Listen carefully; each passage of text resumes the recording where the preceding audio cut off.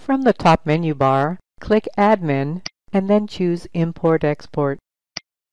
In the left navigation pane, expand Export Policies.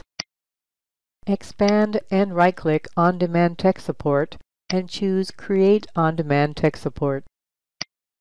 In the Create On-Demand Tech Support window, enter a name for the tech support file export policy in the name field.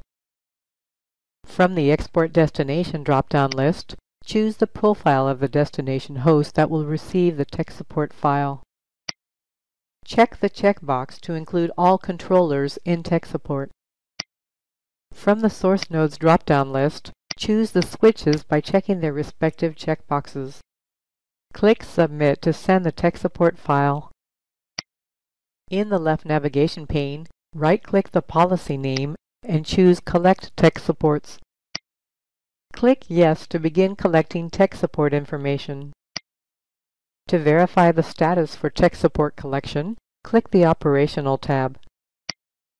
In the Work pane, the status of each node is displayed.